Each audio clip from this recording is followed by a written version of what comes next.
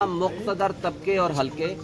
इस वक्त मुल्क की हमारी इस्टेब्लिशमेंट हमारी इस वक्त की इलेक्शन कमीशन तमाम इदारे और तमाम सियासी जमातें एक्सेप्ट जमात इस्लामी, ये सारे डरते हैं इमरान खान की मकबूलियत से और उनके सियासी कदकाट से। इसलिए उसको हर हाल में इलेक्शन से पहले नाअहल करना, उनको सजा दिलवाना मकसद है और आज सबके सामने है जो कुछ इंसाफ का कत्ल होता हुआ नज़र आ रहा है वो हम सब समझते हैं और आप भी समझते हैं। शहीन साहब हमेशा आपकी जुडिशरी इस्तेमाल होती है चाहे भुट्टो साहब के खिलाफ चाहे नवाज़ शरीफ के खिलाफ। आपके लोग ही जब 2018 में नवाज़ शरीफ को नायल किया बेटे की तनख्वाह ना लेने पर तो यही आपके दोस्त ही डांस कर रहे थे और चोर डकैत के नारे लगा रहे थे उस वक्त जनरल बाजवा करवा रहे थे तो आज आप क्या समझते बिलाल एक बात आपको बता दूँ नवाज़ शरीफ, मुझे ये बताएँ, आज एवन फ़ील्ड डिपार्टमेंट जिसमें वो बैठे हुए हैं, वो किसका है? वो किसका है, मुझे बताएँ? वो ये कहते हैं कि जी, हमारा नहीं है। आज मरियम नवाज़ भी कहती है, हमारा नहीं है। हुसैन नवाज़ कहते हैं, माशाल्लाह, ये मरियम नवाज़ का है और हम सब का है। फ्लोर ऑफ़ दी हाउस पे खड़े होकर उसने नवाज़ शरीफ ने ये कहा था कि ये हैं वो रसीदें ये हैं वो जराए, जिससे मैं साबित कर सकता हूँ। भाई अदालत में जब हम गए हैं हमने कहा है हमें गवाह पेश करने दो। वो कहते हैं आपको आपके गवाह भी पेश नहीं करने देंगे। भाई ये दोहरा बेयार है। नवाज़ शरीफ के खिलाफ अगर मुकदमात बने तो क्या पनामा स्कैंडल जब आया था क्या ये पीटीआई ने चलाया था? ये पनामा स्कैंडल इंटरनेशनल लेवल पे आया जिसके ज़रिए उनकी ऑफशोर कंपनीज़ का पता चला। ये एवन इमरान खान और जमात इस्लामी बिल्कुल दरखास्त गुजार थे। हम उसकी तहकीकात चाहते थे और तहकीकात हुई।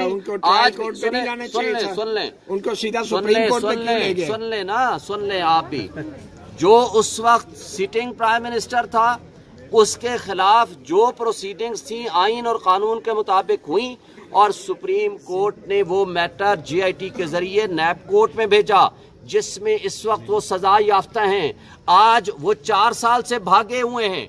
उस भागे हुए भगोड़े को और कन्विक्टेड को और एब्सकांडर को चाहिए कि आपका सगा भाई प्राइम मिनिस्टर है एस्टेब्लिशमेंट के साथ आपकी दोस्ती है। आज आप वोट को इज़्ज़त दो के नारे को दफन कर चुके हो। आज आए, अपनी बेगुनाही साबित करें और कम से कम एक चीज़ बता दें कि ये एवन फ़ील्ड अपार्टमेंट जो है, वो आपके हैं।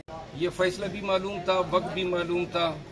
और ये सारी कोशिशें इसीलिए हो रही थी ये तो खान साहब को किसी भी रोज गिरफ़्तार कर सकते थे लेकिन ये बार बार मैंने कहा है कि वो बंदूक जो चलाना चाहते थे उसके लिए जुडिशरी का कंधा इस्तेमाल करना था जो उन्होंने इस्तेमाल कर लिया और जिसके नतीजे में आज उन्होंने ये आ, फैसला हासिल किया।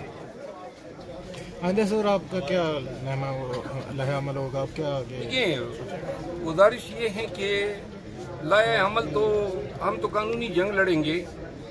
ये फैसला तो शाखाना का कोई मसला नहीं है।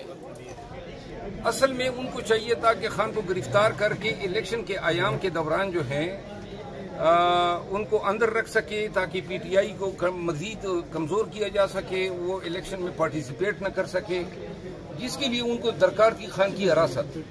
और खान को उन्होंने गिरफ़्तार इसलिए किया है सबका जो कोशिशें थी, आठ माह से, वो कोशिशें इसलिए थी कि जितने भी इलेक्शन नज़दीक आ रहे थे, ये गिरफ़्तार पहले भी कर सकते थे चार महीने पहले। लेकिन उनको पता था कि केसेस में कोई जान नहीं है और खान की गिरफ्तारी खान की जो गिरफ्तारी है, वो अंडू हो जाएगी या जमानतों के ज़रिए या कॉन्स्टिट्यूशन रेट पिटीशन के ज़रिए।